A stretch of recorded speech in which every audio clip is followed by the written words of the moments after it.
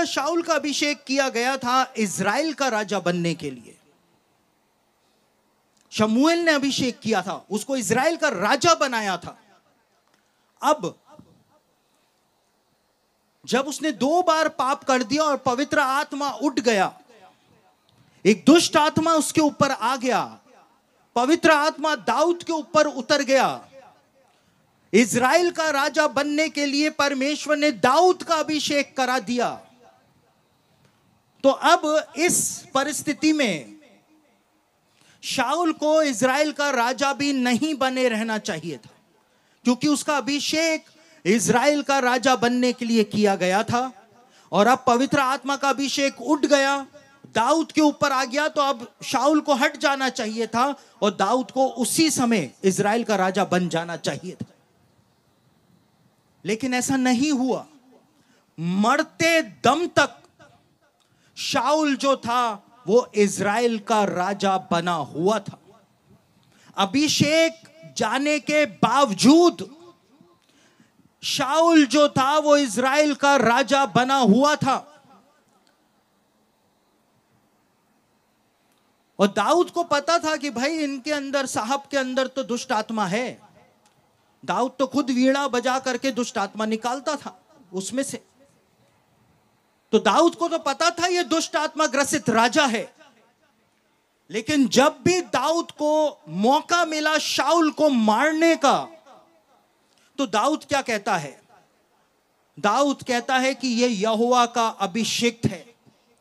अरे दाऊद, तुझको नहीं पता ये दुष्ट आत्मा ग्रसित है? एक दुष्ट आत्मा ग्रसित को दाऊद, आप यहुआ का अभिषिक्त कैसे कह सकते हो? लेकिन दाऊद बार बार कहता है, मैं यहुआ के अभिषिक्त के ऊपर हाथ नहीं डाल सकता हूँ, मेरी इतनी औकात नहीं है।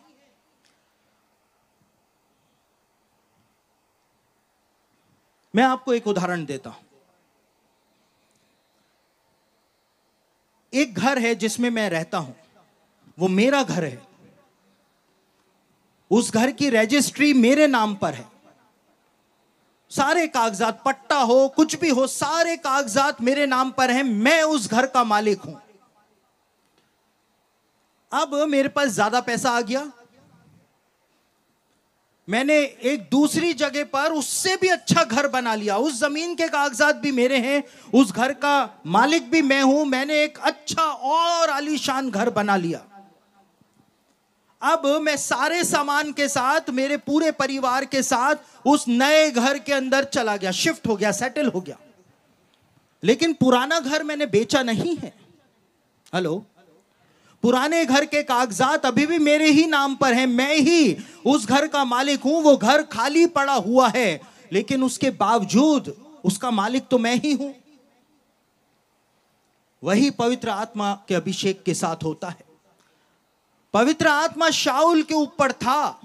अब शाउल को छोड़ करके वो दाऊद के ऊपर आ गया एक नए घर में। उसने अपना निवास बना लिया, लेकिन एक समय पवित्र आत्मा शाउल के अंदर रहा करता था। शाउल का शरीर पवित्र आत्मा का घर था और पवित्र आत्मा के चले जाने के बावजूद ये नहीं है कि अब वो घर पवित्र आत्मा का नहीं रहा। अभी भी पवित्र आत्मा का अधिकार उसके ऊपर पाया जाता है। पवित्र आत्मा ही उसके शरीर का मालिक है और इसीलिए दाऊद इस बात को जानता था। और दाऊद कहता है कि यह अभी भी यहुआ का अभिषिक्त है। आप लोग कोल्ड ड्रिंक तो पीते होंगे। कोका कोला आता है फैंटा आता है, मिरिंडा आता है, लिमका आता है, पीते हैं। बोलेंगे नहीं अच्छा आप तो बड़ी बड़ी चीज़ें पीते होंगे, मैं तो छोटी बात बोल रहा हूँ। तो ये कोल्ड ड्रिंक मान लीजिए कोका कोला है। अब कोका कोला जब आपने खरीदी, उसको खोला और सब डकार गए, उसके अंदर जो था,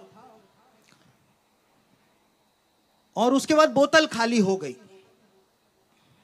अब वो खाली बोतल जो है, आप उसमें कैरोसिन भर दें, उसमें डीजल भर दें, उसमें पेट्रोल भर दें, उसमें दूध भर दें, उसमें जहर भर दें और उसको बंद कर दें या पानी भर दें। कोका कोला की बोतल में अगर कोई दूसरा लिक्विड आप भर दें तो क्या अब वो बोतल जो है, वो कोका कोला कंपनी की बोतल नहीं रहेगी? उस कंपनी ने उस बोतल को बनाया उस बोतल के ऊपर registration number Coca Cola company का लिखा हुआ है। उसका ढक्कन लाल रंग का जो है, वो कोका कोला कंपनी का ऑफिशियल ट्रेडमार्क है। उसके ऊपर जो लेबल लगा है, चाहे लेबल भी आप हटा करके फेंक दें, लेकिन कोका कोला कंपनी की बोतल की बनावट, जो बनावट है, वो भी ऑफिशियल ट्रेडमार्क है। वो कोका कोला कंपनी की ही बोतल है। चाहे आप उसमें कोई सा भी लिक्विड भर दें, वो कोका कोला कंपनी की ही बोतल कहलाएगी। उसी तरह से जब पवित्र आत्मा इस शरीर के अंदर उतरा तो अब ये पवित्र आत्मा का ऑफिशियल ट्रेडमार्क है, पवित्र आत्मा की छाप इसके ऊपर लगी हुई है।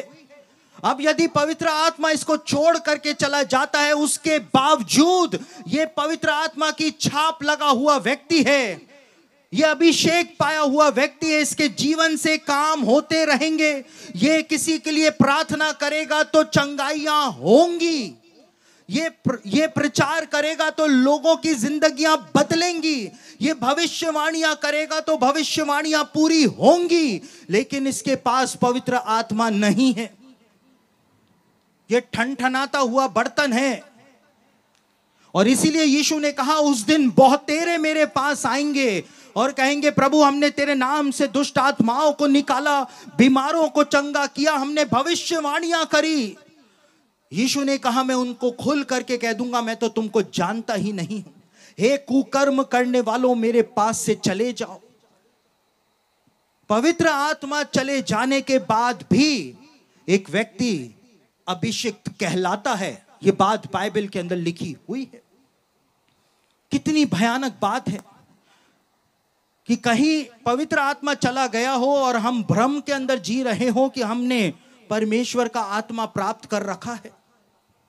कितनी भयानक बात है और इसीलिए अपने अभिषेक को हमको गंभीरता से संभालना है। जो अभिषेक हमको दिया गया है, उसके प्रति विश्वास योग्य वफादार रहना है, ताकि हम नए अभिषेक प्राप्त करते चले जाएँ। नए अभिषेक प्राप्त करते चले जाएँ। पहला दूसरा और तीसरा अभिषेक हमारे जीवनों के ऊपर आ जाए।